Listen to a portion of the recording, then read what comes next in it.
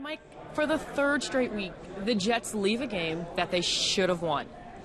They are now one and three, going into one of the hardest parts of their schedule. The thing that really stood out to me was the offense. That first drive, they go 71 yards, they mix it up. Chris Ivory runs 51 yards in that play, and then five straight series, they go three and out. I don't get it. Frustrating. It's really frustrating. Uh, in my before the game, I talked about coming out and throwing on first down. They did it. I was ecstatic. They opened them up. They spread the defense out. They mixed it up. Went right down the field again, where they ran into trouble because the Jets came into this game, the last team in the NFL in the red zone. Now they have a they drive right down. The first play, the first down run only gains a yard. I'm thinking to myself, they're going to throw this one. They ran again. So now we're third and nine.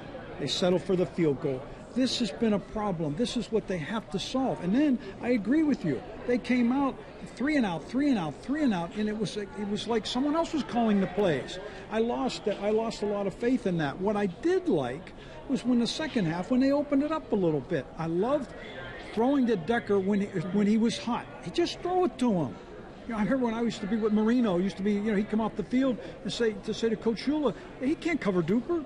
Throw him the football. I like this kind of stuff. I thought that was great. They got Amaro involved back in the offense. They got Amaro involved. And, and he ran with the ball better than I've seen him. And they got Chris Johnson back. I thought at the end, at the end, their last possession, mm-hmm. the last possession, their first play, they hit Amaro and he picked up eight. Then they ran it and didn't get the first down, and then they threw to Ivory in the flat. He had just missed one before.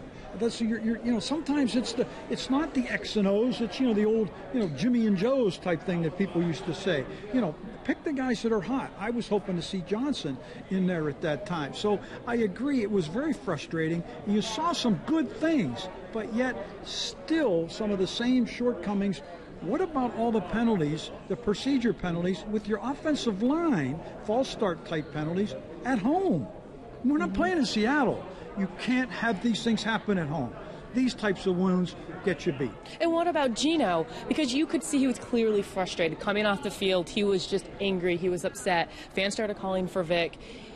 Fourth quarter, he had two two turnovers. It can't yeah. happen. No, you know the, the, two that he did throw, he, he, did get blasted. I mean, he got blasted, and so you know it, he's going to get the blame. But I felt for him a little bit. I saw some positive things again. It, it, it frustrates you because you see so many good things and then you see the really bad play. I, I, I, feel like it's a broken record, though. I feel like we're always talking about well, it's because we, it's because we have been always talking about it. That's exactly why. But if you look at it, to me, I felt that the turning point of the football game was when the, the Jets came back and they they they, they got behind. They scored a touchdown. Now it's 17 to 10. Third quarter. Third quarter. Yep. they Geno kick off. Eric they Decker. do a nice kickoff. They got them at the nine yard line. Nine yard line. They drive. They, they go a 14 play drive take up seven and a half minutes, convert three really big third downs, two of them over third and 10. They completed those and drive all the way down the field to score a touchdown. That, to me, that took all the air out of the sails. Because this is a defense, you know, the, the Jets defense comes in there ranked very highly. But these long, tight plays, have been a real Achilles heel, in my opinion, that they haven't stepped up. Nobody got to the quarterback, and, and Detroit made those plays. I felt that that was the momentum had swung to the Jets. A great touchdown, great kickoff and a coverage, and then all of a sudden, you know, the vaunted defense doesn't hold up. All right, as always, Mike, I appreciate you. All right, thank you.